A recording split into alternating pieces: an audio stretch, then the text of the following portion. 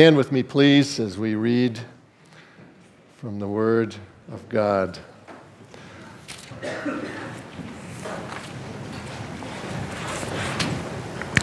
Reading in Luke chapter 15, beginning in verse 11. Then Jesus said, There was a man who had two sons, and the younger of them said to his father, Father, give me the share of property that is coming to me. And he divided his property between them. Now, many days later, the younger son gathered all that he had and took a journey into a far country, and there he squandered his property in reckless living. And when he had spent everything, a severe famine arose in that country, and he began to be in need. So he went and hired himself out to one of the citizens of that country, who sent him into his fields to feed pigs. And he was longing to be fed with the pods that the pigs ate, and no one gave him anything. When he came to himself, he said, How many of my father's hired servants have more than enough bread, but I perish here with hunger? Father, as we come to your word, as always, we thank you for the message that it holds. We pray that you will, by your Spirit, make it very clear to us that, Father, far more than that, cause us to be obedient we thank you, Father, for this day, Valentine's Day, Lord, a day when we celebrate love, love of family, love of spouses, love of siblings, human love. But Lord, even as we do that, we're reminded that human love always fails in the end. Not necessarily because someone wants it to, although often because of that, but the, if nothing else, our loved one goes before us. Our loved one is not responsive in some way to our love for them. And so, Father, we pray for all here today who have the experience of human love in whatever means, by whatever means, through family, through others. But Lord, for those who are, have been bereaved, lost loved ones recently, we pray especially for them. Lord, I think of your promise in Isaiah that you will, that you, the creator, you, the creator, will be the husband to those who have no husband. Applied the wife to those who have no wife. How about those who have no mom or dad? Lord, the, the needs are so many, the needs go so deep. Lord, for every human, it seems like for every human glorious experience, there is a hard one. How we pray that your Spirit will undertake for those hard needs. Cause that there would be not just human love, but that there would be divine love spread into the hearts of many. I want to thank you again for those children that we saw this morning and for the parents. I, I just was thinking through this, and I think, I, I think I'm right that every single grandparent of those children is here, except those who have gone on, one that maybe has gone on. But we thank you for each one that has that kind of interest, and some have come from distances to be here. And so we thank you for that commitment that they have to their family, for the love that they've shown. Thank you for your grace, shown in so many ways. Think of little Dane, Father, is his first birthday, but last year at this time it wasn't such a great day. We weren't sure. He had to come early in order to be born on Valentine's Day, and and uh, so it was a tough start, but we thank you for what you've done. And Lord, there's so many other areas where your help is needed. We pray for that. Pray for your grace. We all need it. We ask you for it in the name of our Lord Jesus Christ. Amen. You may be seated. If you have not already, please turn to this book of Luke, chapter 15. So we begin to consider this great and wonderful uh, story that the Lord gives us here in this passage today. You in his book, um, How to Use Humor for Business Success, a man named Malcolm Kushner reported that there are three ways to get things done.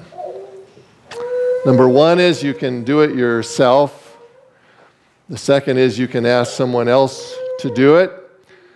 The third is you can ask your kids not to do it.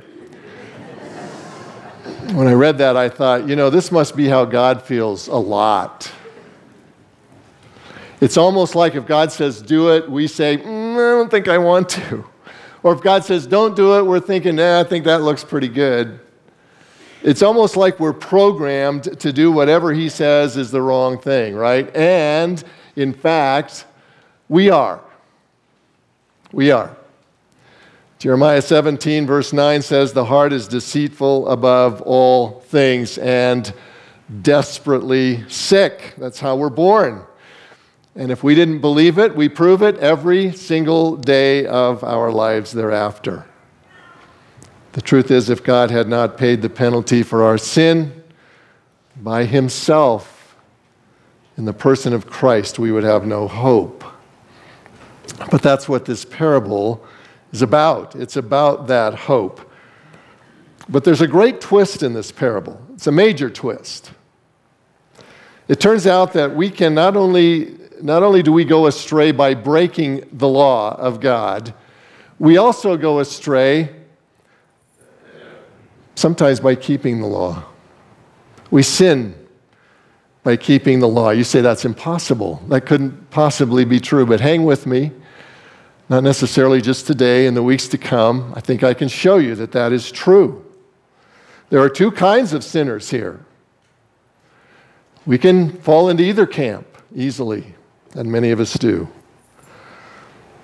I think this wonderful parable is so unique in many ways. Uh, it, it, it, lacks an ending, for one thing. We'll get to the end and we'll find out that it just kind of stops right at the climax. We're never told what really happens to the elder brother in this parable. And still, it is one of the most, if not the most, beloved parables in the whole Bible. It's also one of the most misunderstood. It is commonly called the parable of the prodigal son, that really immediately leads us down a wrong path. There are two prodigal sons here, both equally prominent and both equally important to our understanding of what Jesus is trying to teach. Both of these sons are alienated from their father. Both of these sons are lost. One is in active rebellion, and it's easy to see his problem. The other is in passive rebellion, very difficult to see, and yet equally destructive and equally bad. One of them eventually responds to the incredible, unbelievable love of the Father. The second one eventually kills his father.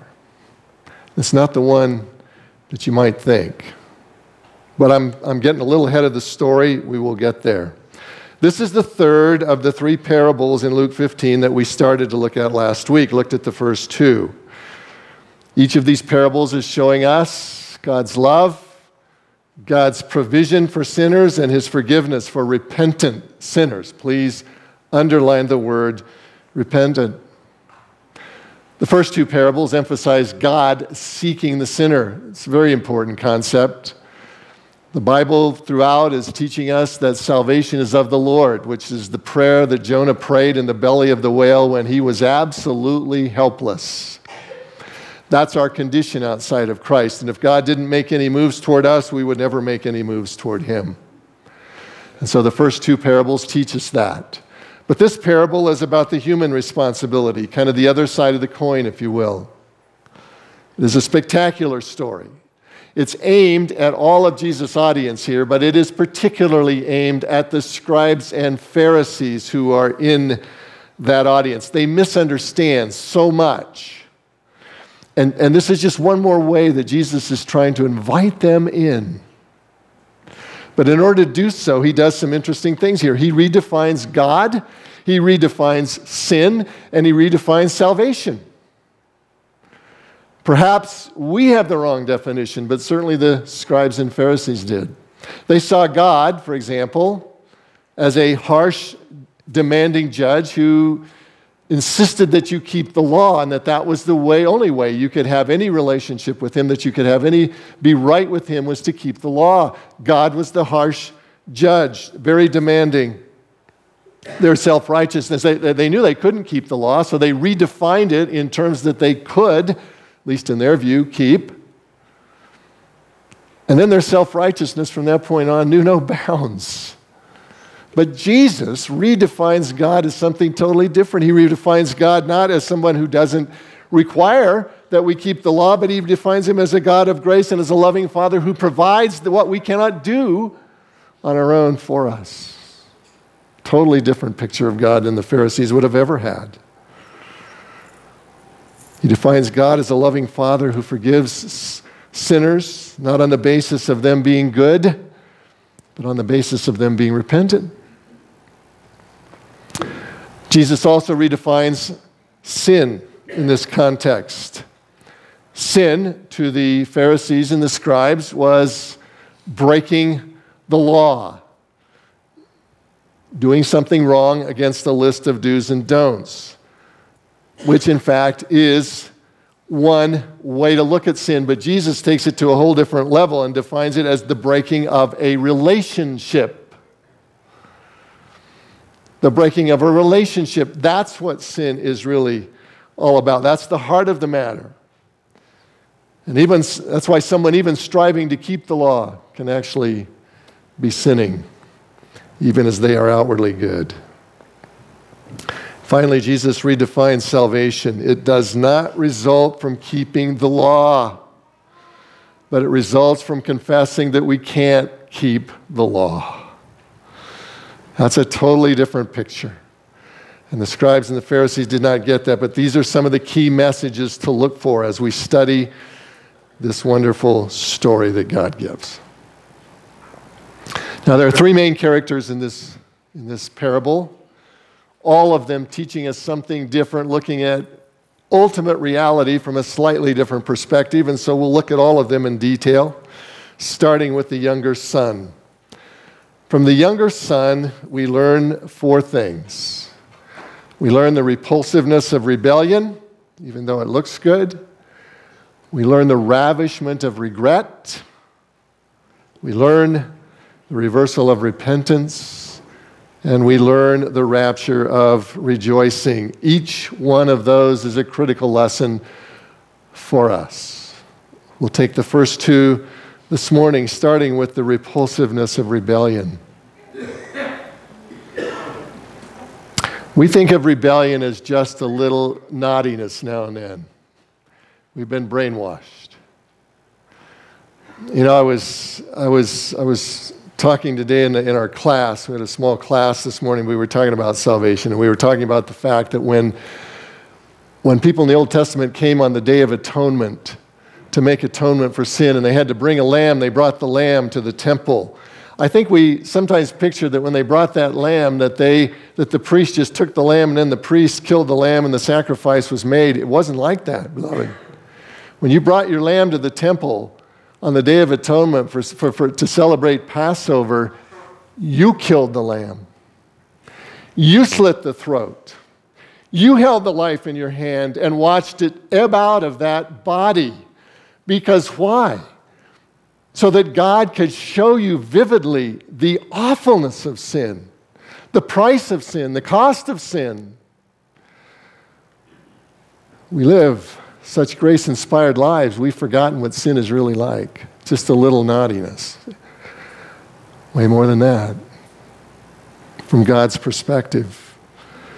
And so the repulsiveness of rebellion, verse 11, and Jesus said there was a man who had two sons. Notice from the beginning, this story is about two sons, not one. The man here represents God. The two sons represent two rebels, one in active rebellion, the second one in passive rebellion. The older brother is the passive rebel, representing the scribes and Pharisees. The end of them is left open in the parable, and that's kind of the setup. But the obvious sinner here, when we look at this morning, is the younger brother. He's the one who is in overt rebellion. He is the one who is the one who is outward with regard to his, well, hatred for his father at this point in time. His rebellion is very clear. And it's characterized in three ways in this passage, and I want us to see those. And as, as we look at these, I want you to keep your mind open because many of you are thinking, well, open rebellion, overt rebellion, uh, somebody that's just very outward about this. This is the one who is the, the, uh, the, the active rebel. That's not me. I love God. I would not do this. But I want you to do this. I want you to look deep into your heart this morning as we go through these. You may find that some of the characteristics that are here that characterize this open rebellion of this young son is part of who you are. The fact is, it's part of who we all are, whether we're saved and we're believers or whether we're not. It's part of the reason that confession needs to be part of our daily existence in our life with Christ. So, how do we characterize this open rebellion? Well, number one, is self centered. Self centered. Verse 12 The younger of them said to his father, Father, give me the share of property that is coming to me. And he divided the property between them. Sounds simple, doesn't it? It was anything but. This was very complex. You see, the property of this father would have been in land. So he could have, if he wanted to, divided the land and given some of this to one of his sons, but the fact is he owed them nothing until he died. If he divided the land, he could do that, but by the law of the time, he still was the manager of that land. So even though he might title one of his sons to have some of this land, it still was under his management. It was only when he died that the land would have actually come into the full control of the son. And in the case of the law in Israel, the older son would have received a double portion of the land. So the younger son, in this case, since there were two of them, the older son would have gotten two thirds, the younger son would have gotten one third. But the younger son is saying, I want mine and I want it now. And he doesn't just want the land, he wants the money. What that means, this is, this is an absolutely, we have to understand because we don't get this. This is a shameful request. This, is this absolutely shamed his family that he would make a request like this. The only way the father could accede to this request would have been to sell land at a discounted price, of course, because somebody would know he's got to sell it. And he would be shamed, the father would be shamed, the sons would be shamed, everybody in the family would be shamed. This young man is asking for this. Typically, if this should happen, and what the scribes and Pharisees thought should happen is that the father would have owned him right then and there. They said, You want what? Let me show you the back of my hand. This home is no longer your home. You are no longer my son. No inheritance is coming to you. Your demand is not only denied, but your possible future is at risk. You're out of here. That's what they would have expected. And in the times in which they lived, that's what would have been expected to, to, to save the name of the family. But not this father. This father exceeds to the request of the son. And he makes the simple statement, Jesus does, that he divided the property between them, but everybody who heard the parable would have understood what that would have meant.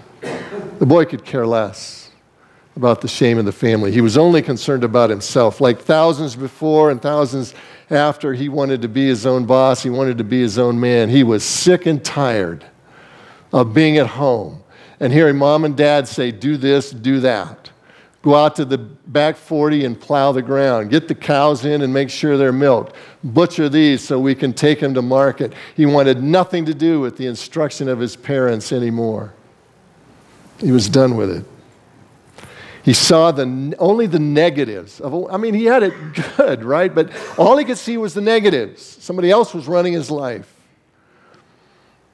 Kipling defined the prodigal son, this young son, this way my father glooms and advises me. My brother sulks and despises me. My mother catechizes me till I want to go out and swear. That's about as bad as it could get in those times. But that's how he looked at life. He felt like he was being put upon. He wanted his independence. He wanted a way out. He wanted no more obeying parental authority, parental orders, or anybody's orders. He wanted to be captain of his own soul. Listen, his actions here are tantamount to saying to his father, I wish you were dead. That's what he's saying in essence. He's like so many today who can't wait to leave home so they don't have to go to church anymore, so they don't have to listen to whatever parental guidelines and controls they are, so they can do whatever they want to with their phone, so they can go wherever they want to, so they can drink whatever they want to. They just want to be in control. But listen, beloved, it's not just kids.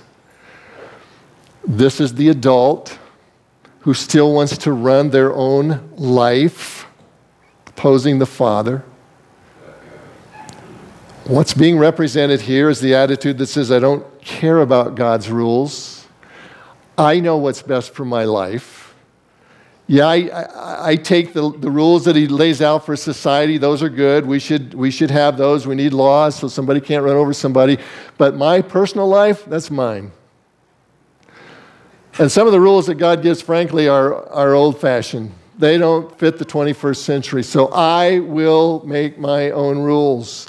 I will dictate my own terms in my business, in my sexual, in my personal life. God has no business there. I will be my own person.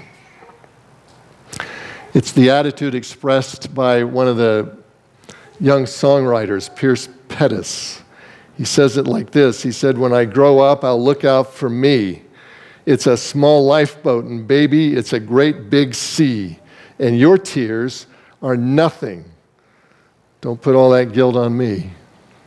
That's the world in which we live. That's the outward rebellion that sometimes becomes very much a part of us, even as a believer. Outward rebels willingly pit their will against God's. They willingly redefine God's law to be whatever they want it to be, whatever fits their lifestyle. God's existence has absolutely no impact on their daily life. The heart of sin is selfishness, isn't it? Self centeredness characterizes rebellion, and it's one of the reasons that it's so repulsive to God. And you know what? It's not because God hates us, it's not because God wants us to do exactly what He wants because He just wants, because He's a control freak. God wants us to do what He commands because He knows that is absolutely the best for us in the long run. He knows that. Our disobedience is just a self centered way of saying, I don't care about God. God can go fly a kite as far as I'm concerned. We wouldn't say that outwardly, but, but, but by our sin and by our lifestyle, that's exactly what we're saying. Secondly, this man's rebellion, this young boy's rebellion, is characterized by shadiness.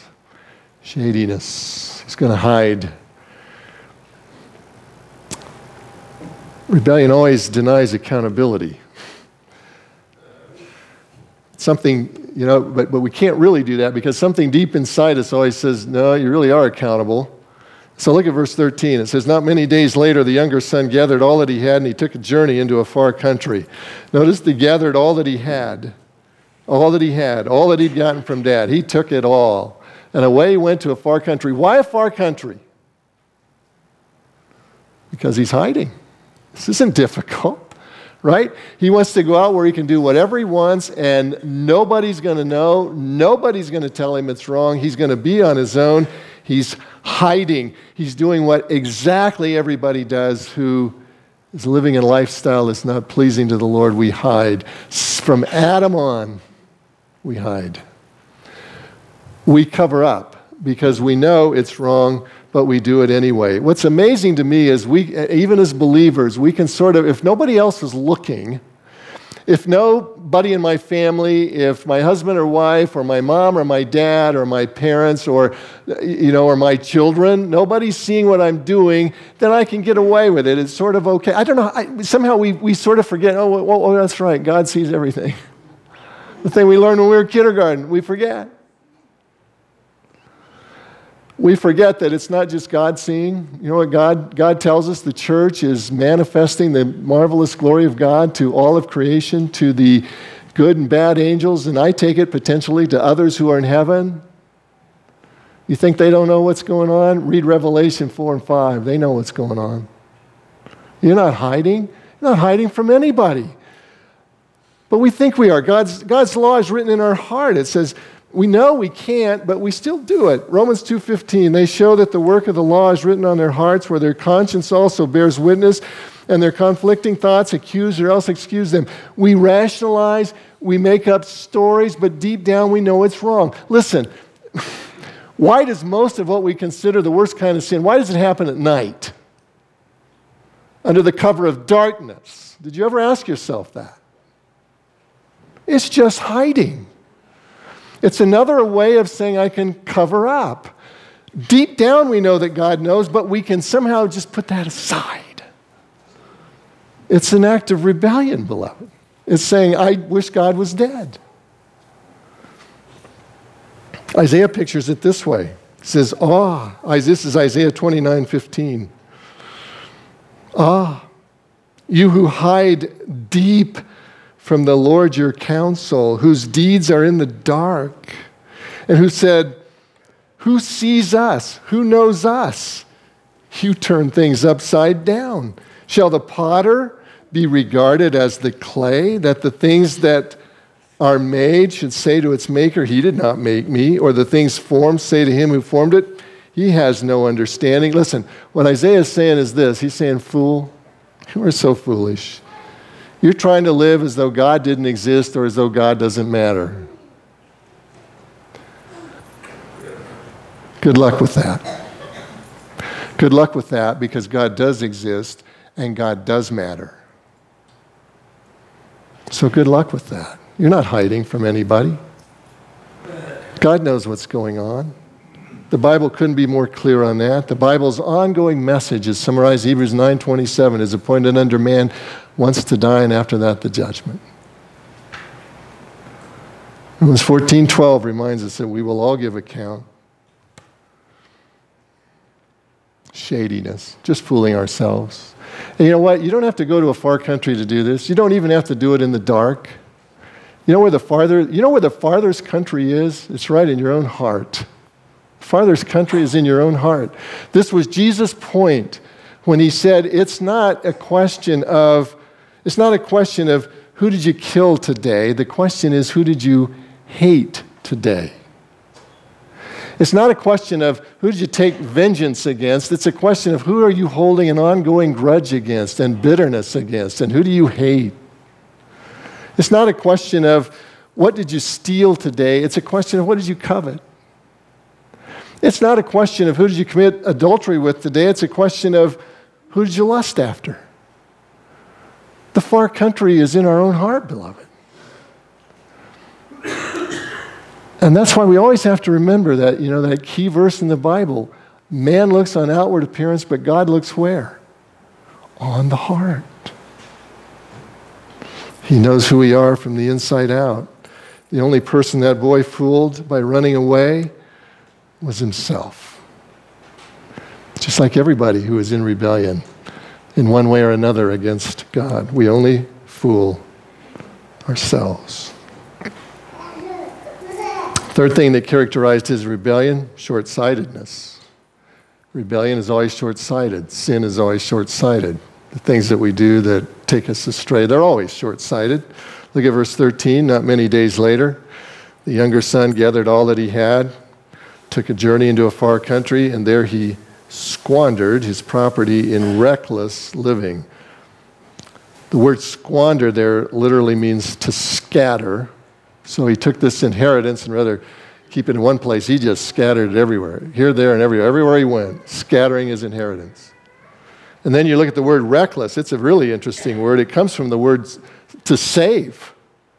The Greek word for save is sozo, but this particular word puts an A on the front of it, which negates it, right? So this is asozo living. This is, this is anti saving living, wasteful living. So he's scattering his inheritance about in a wasteful fashion, an unsaving fashion, an unredemptive fashion. He's just, he's just spending it as fast as he can get it. Verse 30 implies that there may have been prostitutes involved. So I think we could read into this this guy's the life of every party that he goes to while the money lasted.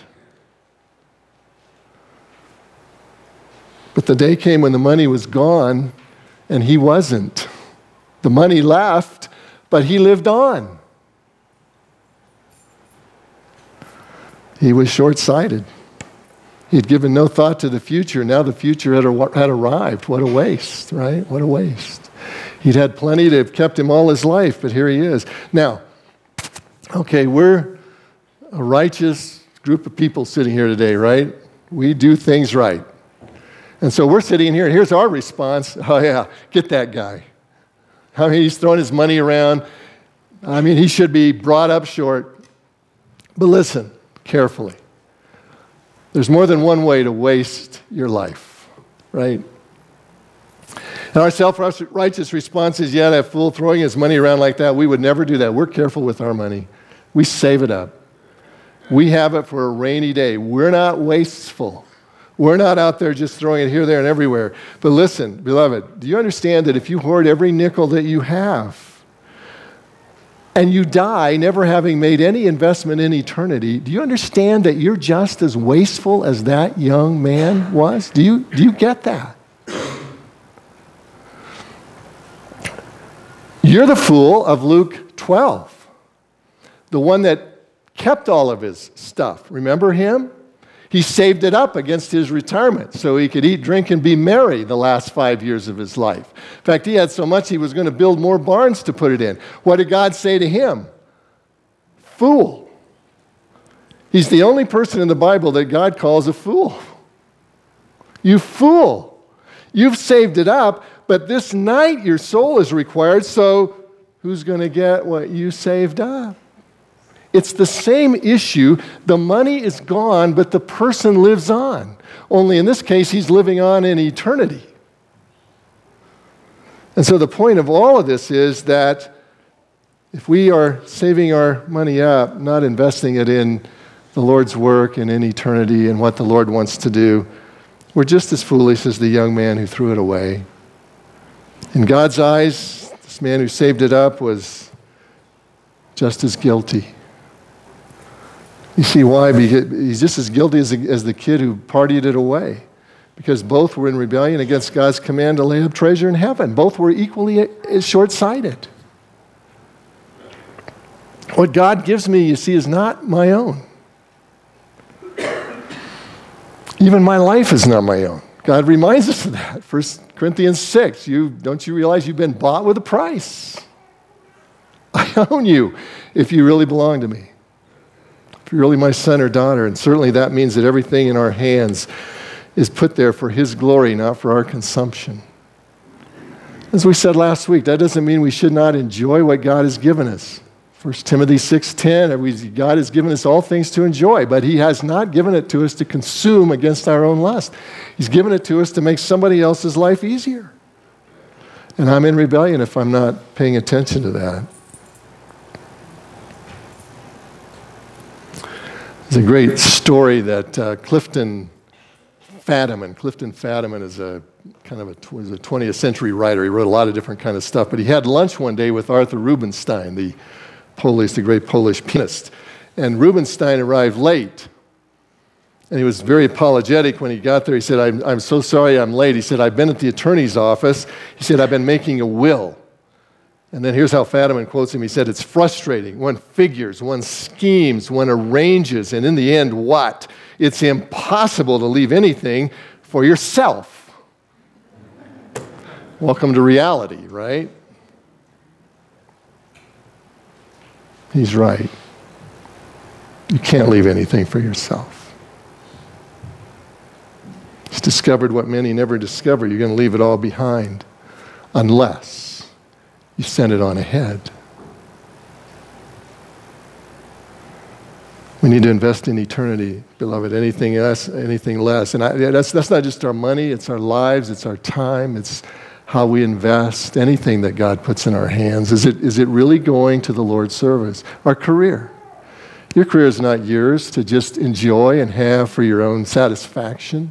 It's intended in some way to represent God on earth. It's intended as a means to allow you to invest in eternity. And my question is are you doing that? Or is it just a means to get money that you spend on your own consumption? In that case, it's, short, it's not only short sighted, it's, a, it's an indication of rebellion.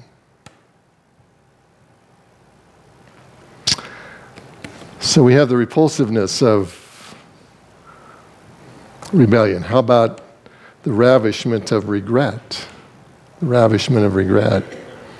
Because when our life is not centered around the Lord, when He is kind of meaningless to us on a daily basis, we give Him Sunday, well, a couple hours on Sunday, but the rest of the time is ours.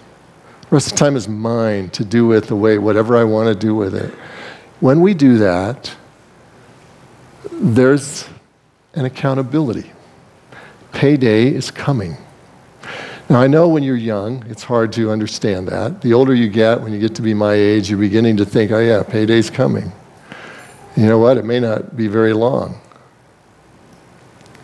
And then you get sick, and all of a sudden it's really dawn on you okay, payday is coming. Are you preparing? Because payday is coming. Look at verse 14. When he had spent everything, a severe famine arose in that country, and he began to be in need. So he went and hired himself out to one of the citizens of that country. He sent him into the fields to feed the pigs, and he was longing to be fed with the pods that the pigs ate. Commentators aren't exactly sure what those pods are, but every description you get is that they were just something that was uh, very unappetizing to a human. So, whatever they were, wasn't going to be great food. And yet, this boy is so desperate that he wants whatever the pigs are eating. But nobody gave him anything. In other words, that was all he had, whatever he could get in the pig pen. Everybody loved him while he was scattering his inheritance. Everybody was his friend. Everybody was wanting to be part of the party, but now the money is gone, and so are the friends, and nobody gave him anything. He's hit rock bottom.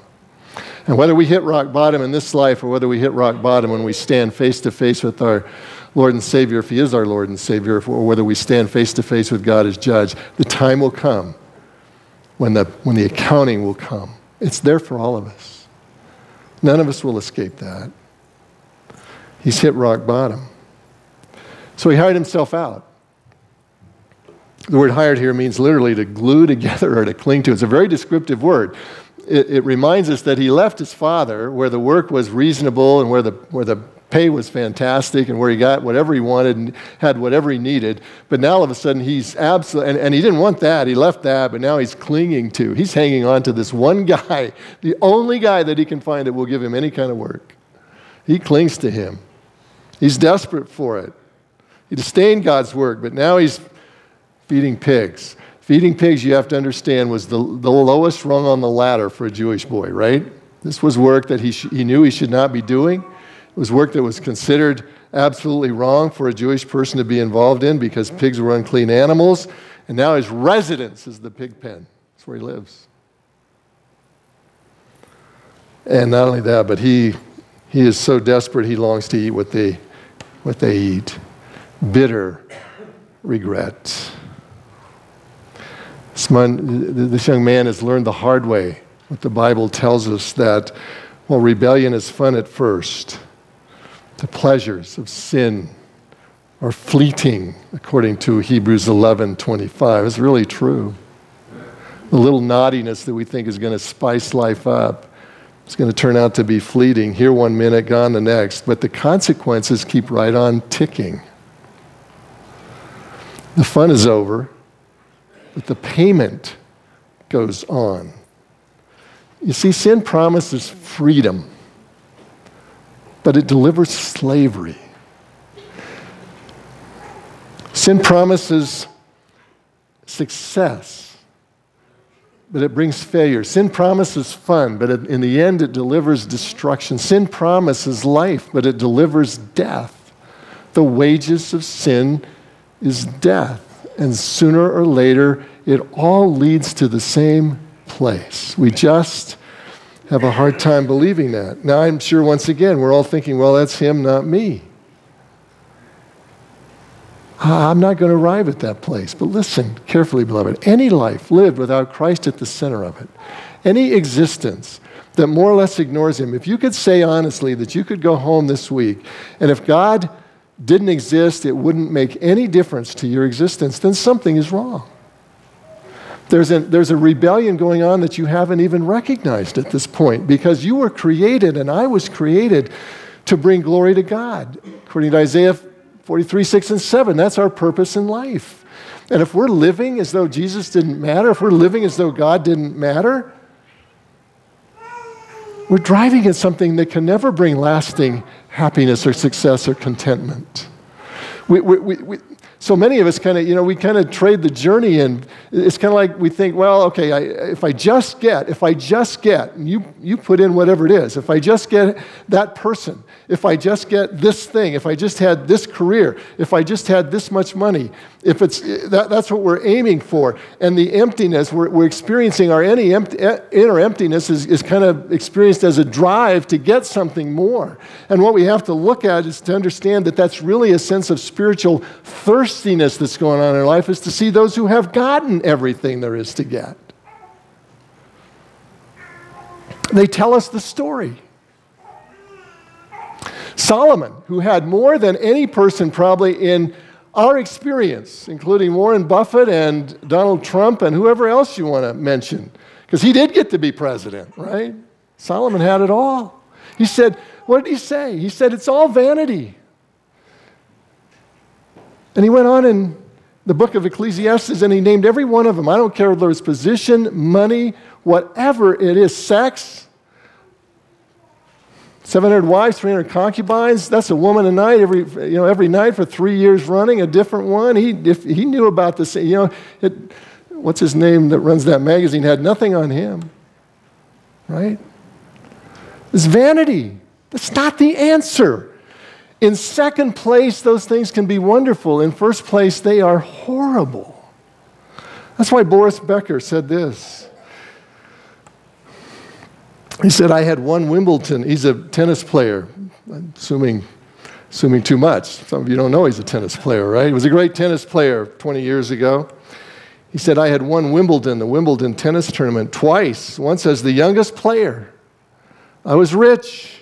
I had all the possessions I needed. It's an old song of movie stars and pop stars who commit suicide. They have everything, and yet they are so unhappy. I had no inner peace.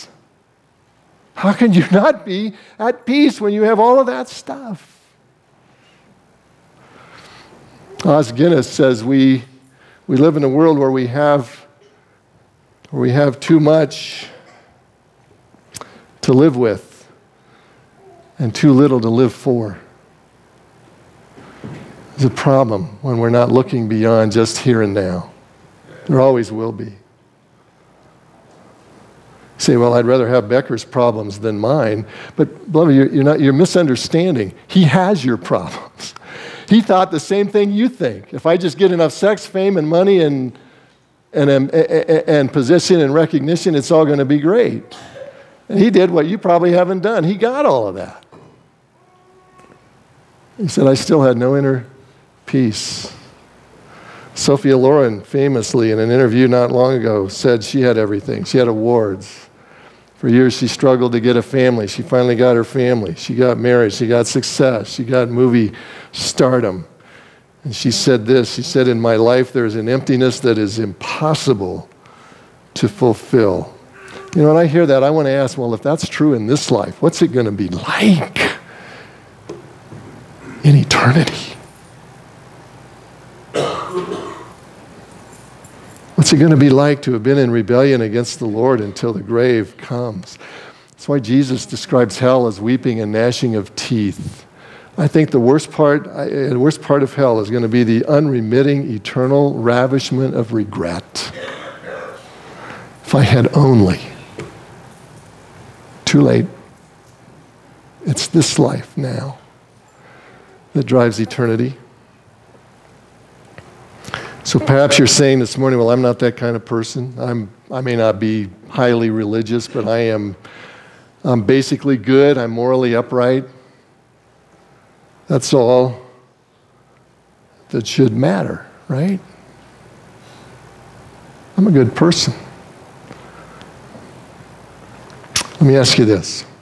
Suppose you had a guy whose mother had to raise this child alone. She didn't have much money, but she pours her life into this child. She raises him. She puts him through school. She manages to get him a good education. She says, Son, I want you to have a good life. And here's my advice to you my advice to you is to tell the truth, to work hard, and to care for those who are poor. I want you to do all those things. And so the son grows up, he gets the education, he goes off. He gets a great job, he begins to live his life, gets a career, but he never, ever speaks to his mother ever again. Sends her a card on her birthday, and that's it. What would you think? You go ask him. You know, all you're doing, you just, you're not, look, look at your mother's sacrifice. Look what she did for you. And what's he going to answer? He's going to say, Well, I'm, I'm morally upright. I live a good life. I tell the truth. I work hard. And I give to the poor. What else matters? How is his mother going to feel about that response? You see, we're, it's easy for us to see from a human perspective that that response is totally inadequate, right? It's not the moral goodness, it's the relationship that counts. It's all God is saying here, beloved. You can be as morally good and as morally upright as you want. I want you. If I don't have you, the rest of it is meaningless. I want the relationship. The greatest rebellion of all is to reject the Lord and Savior who has given everything that He has so that we can have everything that He has if we'll accept it. But to rebel against that is the worst crime we can commit. Don't do that. Let's pray. Father, we thank you for this word. What a reminder that you're in charge and we're not. But that's not for our detriment, Father. It's for our ultimate good. It's so that we can have what we cannot have any other way. Whatever the world promises, whatever the life that we think we're going to carve out for ourselves without your involvement, whatever we think that's going to be, it will never it will never bring the contentment, the happiness, and the joy and the eternal satisfaction that knowing you brings. And so, Lord, whether we sit here this morning today in open rebellion, we're, we're just those who have never accepted you as Savior, really have no interest, don't want to know about God, don't believe any of this bunk, whether that's our situation, in which case, Lord, we just pray that you'll do a work in those hearts and draw them to yourself. But perhaps it's those of us who are believers who are living this way, even though we have truly come to you. But over time, we have sort of begun to ignore the disciplines of a godly life. We've let them become unimportant. We are basically living a life of rebellion. Now, Lord, the first question would be whether we are really a believer because your word is pretty clear. We could not live as a true believer very long in that condition. But if we have for some time been that way, would you please help us, Lord, to turn our life to you? Give it to you. And Lord, in the words of the song we're about to sing, that you would change our heart. Those who are, have never come to you in faith, those who need today to say yes to you, help them to do that. Those who have been playing at this, playing at church, playing at Christian life, Lord, we need the same thing that you would change our heart to follow you completely. Guide us as we make the decisions you ask us to make. In Jesus' name we pray. Amen.